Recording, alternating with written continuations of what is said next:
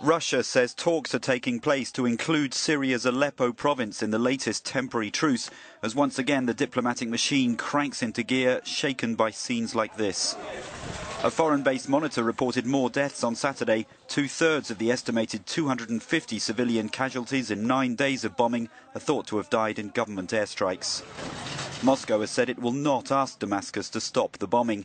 With US Secretary of State John Kerry in Geneva for more talks, Washington has accused the Syrian regime of predominantly targeting civilians.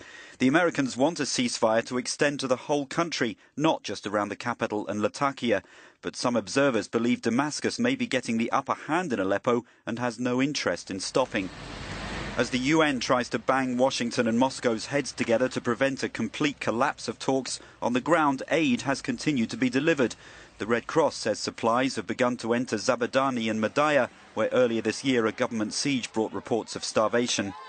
Aid trucks also entered Al Fua and Kefraya in the northwest province of Idlib, which are surrounded by insurgents in a joint operation between the Red Cross, the Syrian Arab Red Crescent, and the UN.